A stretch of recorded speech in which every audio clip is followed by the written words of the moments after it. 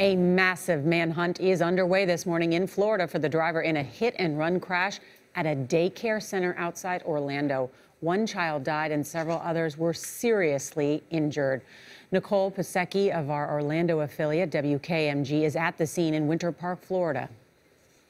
Nora and Charlie, it was a horrific scene behind me here yesterday at the KinderCare Daycare Learning Center.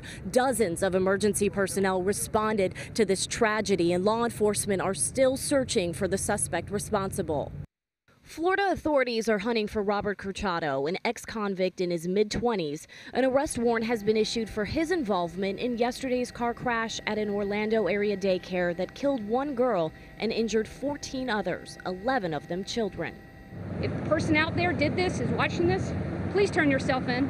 It's not worth it because we will find you today, and I promise that. Officials say this black Toyota Solara convertible went out of control Wednesday afternoon after it was struck in the rear by a silver Dodge Durango SUV. The Toyota jumped the curb and smashed through a wall at the daycare, pinning a little girl and injuring many others. The driver of the SUV then fled the tragic scene. The ones that I did see, seen blood coming out of their mouths, like their mouths had hit something or whatever. You know, they were bleeding out of their mouths, and there was other ones that weren't moving at all. Two hours later, law enforcement found the Dodge SUV abandoned at a home in a nearby suburb. Florida Highway Patrol says the suspect then rented a black Mazda SUV and was reportedly spotted at Orlando International Airport. We do know that he is trying to flee the area. We've had information that he might be trying to flee out of the airport area right now. At the daycare center, family members scrambled to find their children, some of them wheeled out on stretchers by emergency responders.